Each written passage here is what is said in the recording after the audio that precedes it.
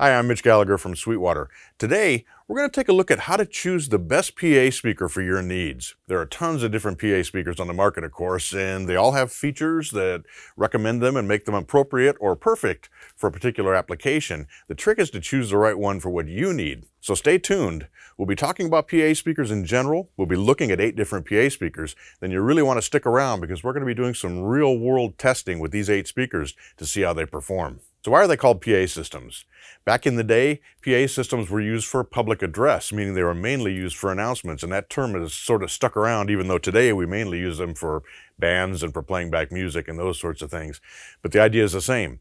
You want to amplify the sound of your band, your speaker, your performer, your lecturer, whatever the application may be, so it's loud enough so the audience can hear what's going on. The trick to doing that is not only to make the sound loud, but also to keep the quality high so that words are intelligible with a speaker or with a vocalist. And so you can hear all the detail with the different instruments. So you can hear a clear mix when you're playing back music. Now, there are a number of different approaches to that. Today, we'll be looking at what are called active PA speakers, meaning they have the amplifier and all the electronics built right into the enclosure along with the speakers. So there's sort of an all-in-one solution. In fact, some of them, you can even plug a microphone straight into the back and use it as a complete sound system. There are a few different types of PA speakers. Today we're looking at what are called full range speakers, meaning they can cover everything from the bass all the way to the highest treble. You can also get mid-high speakers that are oriented more towards the upper frequencies, the mid-range and the treble. And then there are subwoofers that reinforce the very low frequencies. They give you that boom and that thump on the bottom end. But again, what we're looking at today are full range speakers that cover the entire audio spectrum. There are a number of different things that you want to look at when you're choosing a PA speaker for your needs, and we're going to be looking at a number of those today. But you want to look at things like the volume level they can put out, and that's obviously an important one, but there are other things as well. There's what's called dispersion pattern, and that's basically the coverage that the speaker provides, and it's usually uh, defined as the width and the height. So you might have a 90 degree wide dispersion pattern and a 60 degree vertical dispersion pattern. The wider that pattern, the more coverage you're going to get across your audience. The narrower, the more focused the sound is going to be coming out of the speaker, and sometimes that can be a good thing. An important factor with a portable PA speaker like we have here is the weight and the format of the speaker. How well does it carry? Is the handle positioned well? And what is just the basic weight of the speaker? If you're going to be lugging it around, you want it to be as light as possible. And part of that is the construction. Some of the speakers here around me are made from different types of plastics, ABS or polypropylene. Others have plywood enclosures or even solid wood enclosures. The idea is to make the enclosure as basically inert as possible. You don't want it resonating and vibrating with the sound waves because that wastes energy, energy that could be going out to your audience. And so these different construction methods are designed to give you that inert, rigid enclosure without being too heavy. Another thing to look at is the mounting format for the speakers. Some of these speakers have fly points, meaning you can attach them to the wall or the ceiling. Most of them, if not all of them, are pole mountable, meaning you can put them on a speaker stand, which raises them up and allows them to project better out into the room. Some of them, the cabinets are shaped so that you can actually use them as floor monitors as well, so they become even more versatile. So that's something you'll want to look at as well, how you'll be using the PA speaker. Is it just a PA speaker? Are you going to be permanently mounting it? Is it portable? Will you be using it as a floor wedge? All these things are considerations. So with all that said, let's take a quick look at the eight speakers that are surrounding me here today. Let's begin with the Pioneer XP-RS122, which is a speaker right here to my left. Now this speaker has 2000 watts of Class D power, a 12 inch woofer, and a 1 inch compression driver. It has four onboard DSP modes so you can switch it to how you're using the speaker for speech, for music, and so on. Frequency response is from 48 hertz to 20 kilohertz. We've got a plywood enclosure that comes in at just under 45 pounds. Next up, we have the JBL PRX8W here on my far left. This is a 1500 watt speaker with a 12 inch woofer and a 1.5 inch compression driver. We have onboard DSP processing and a dispersion pattern that's 90 degrees wide and 50 degrees vertical. An interesting feature is that it's Wi-Fi controllable using an app, and the enclosure is made from birch. It comes in at just over 42 pounds. To my left, we have the JBL Eon 712. This is a 1300 watt active PA speaker with a 12 inch woofer and a 1 inch neodymium tweeter that's mounted into a JBL waveguide. That waveguide contributes to a wide dispersion pattern, 110 degrees horizontal and 60 degrees vertical. Frequency response is from 50 Hz to 20 kHz. We have onboard DSP processing, as well as an onboard three-channel mixer. Additional features include Bluetooth, as well as full true wireless stereo operation. The cabinet is made from polypropylene, which brings the weight in at right at 32 pounds. QSC K12.2 is here to my right. It has 2,000 watts of power, has a 12-inch woofer, and a 1.4-inch titanium compression driver. It features onboard DSP processing and a 75 degree horizontal dispersion. Frequency response is from 50 Hz to 20 kHz, and the enclosure is made from ABS, bringing the weight in at 39 pounds. The QSC CP12 has 1,000 watts of power, a 12-inch woofer, and a 1.4-inch compression driver. It has onboard DSP processing, a built-in mixer, and frequency response from 49 Hz to 20 kHz. The Electro-Voice ZLX12BT, here to my left, has 1,000 watts of power, a 12-inch woofer, and a 1.5-inch titanium driver. There are four mode presets for different applications where you'd use this speaker, as well as built-in Bluetooth support. The dispersion pattern is 90 degrees wide by 60 degrees vertically, and it has a frequency response from 65 Hz to 18 kHz. It has a polypropylene enclosure and weighs just over 34 pounds. Here on my left, we have the Mackie Thump 212.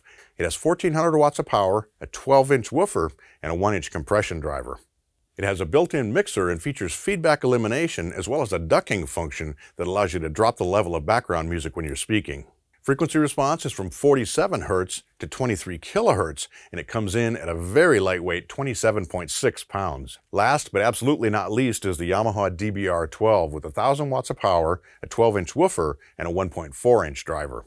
Dispersion is 90 degrees wide by 60 degrees vertical. We have an onboard mixer as well as onboard DSP. Frequency response is from 52 Hz to 20 kHz. We have a lightweight enclosure, bringing it in at 34.8 pounds. So that's a very quick rundown of these eight PA speakers. They're all full range speakers, they're all active, meaning they have built-in power, and they're all set up for a variety of applications.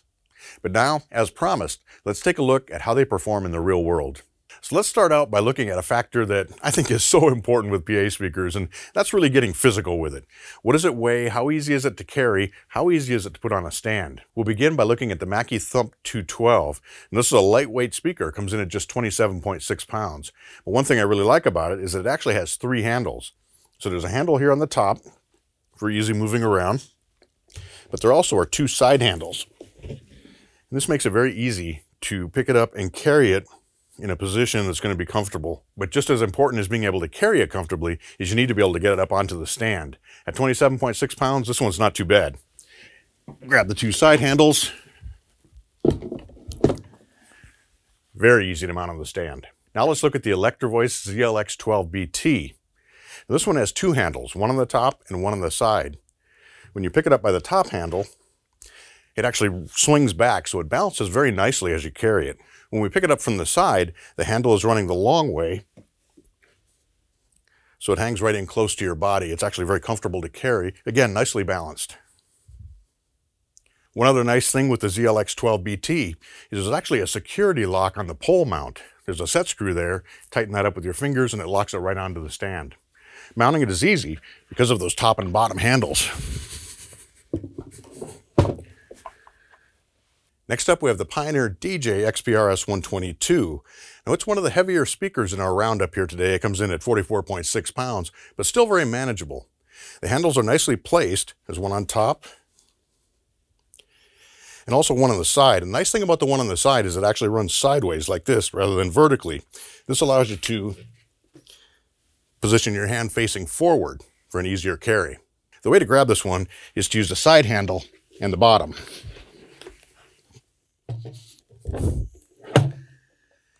The JBL PRX 812W has a single handle and is positioned crossways on the enclosure.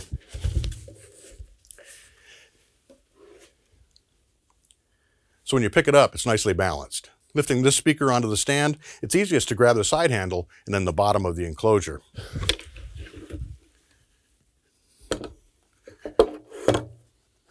This speaker weighs 42.5 pounds, so it's a little on the heavier side as far as our roundup today goes, still very manageable on the stand. Next up, we'll check out the QSC K12.2. It has two handles, one on the top and one on the side. Now the one on the top, it's positioned right in the center, so the speaker really hangs well. It's balanced nicely. It makes it an easy carry. As far as the side carry, the handle's positioned a little farther back, but Still hangs nicely balanced. 39 pounds, it's an easy carry. To mount this one on the stand, I recommend grabbing the side handle and then reaching from the bottom as well.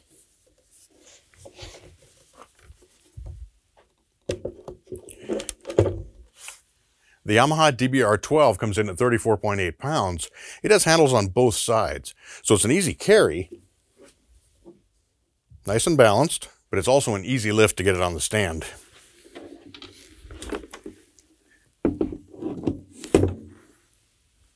The QSC CP12 comes in at 30.3 pounds.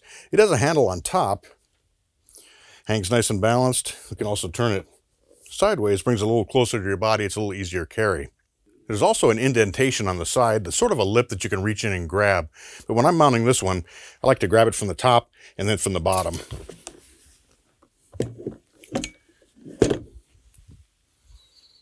At 32 pounds, the JBL Eon 712 is an easy carry. It has a top handle.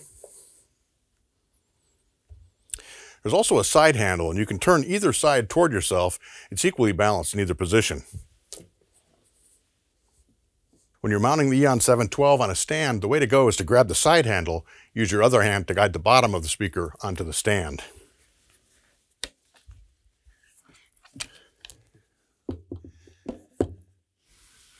Now let's try a real, real world test. What we're going to look at now is the volume that each of these speakers can produce. So we're going to run program material. We're going to run a song into these speakers, have them each play back, and I'm going to set them up so that each speaker is at the maximum volume we can get without clipping the input and without engaging any limiters or any of that sort of thing on the amplifiers. So we're going to try and get the, the clean output at its max level without any of the additional features engaged. Now I've got an SPL meter here. I've got an Earthworks microphone that we're going to use to record these tracks, not necessarily as a reference, but just so you can kind of hear what's going on. Let's see what really happens when we crank the sound up through these speakers. I got my earplugs. Let's go.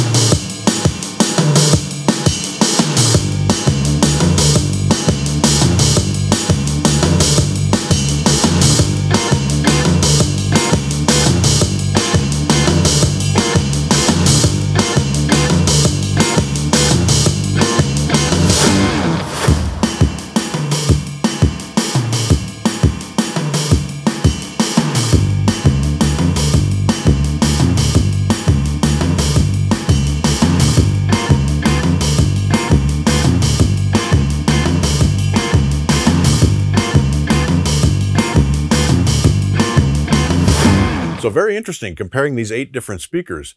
Not only do they each put out a different volume level given a particular input, they all sound a little different as well. They have different feature sets. There are some really interesting things going on with some of these speakers. For example, the K12.2 has a locking power connector. The rest of them don't. Uh, the PRX 800 has a fan on board for keeping things cool. So there are other features that are involved here as well. But the main things you want to look at you want to look at the size of the speaker. So you make sure that you're choosing the appropriate size, a 12 inch woofer, 15 inch woofer, whatever it might be, the amount of power that you have. So you have plenty of clean headroom, the features that you need on board. But it's also important to consider things like how heavy is the speaker? How easy is it to pick up and move around? How easy is it to put on a speaker stand? All those physical aspects, if you will, they all play into how well the speaker is going to fit with your particular application and use. We have many different resources available here at Sweetwater for you. First and foremost, you should contact your Sweetwater sales engineer. They have in-depth knowledge of all these speakers and access to tons more information and can really help inform you as you make your decision. You should also stop by sweetwater.com. All these speakers are listed there as well as many others, and you can get a lot of information from sweetwater.com. And speaking of, be sure to visit the news and research page there as well. We have articles on live sound, on choosing gear, all sorts of information is available for you there. So tons of resources from Sweetwater for you. And I do have to make one more shout out. We were using a Gator Frameworks GFW SPK 3000 speaker stand. Really cool stand, easy to set up, lightweight, and it has a built-in lift assist feature that makes it very easy to change the height of the speaker. Really does it for you automatically. I hope you found this video useful as you search for the best speaker as a solution for your live sound applications. Thanks for joining me today. I'm Mitch Gallagher from Sweetwater. Thanks for watching. Be sure to like, comment, and subscribe. Click here for more videos like this or start at sweetwater.com for all your music instrument and pro audio needs.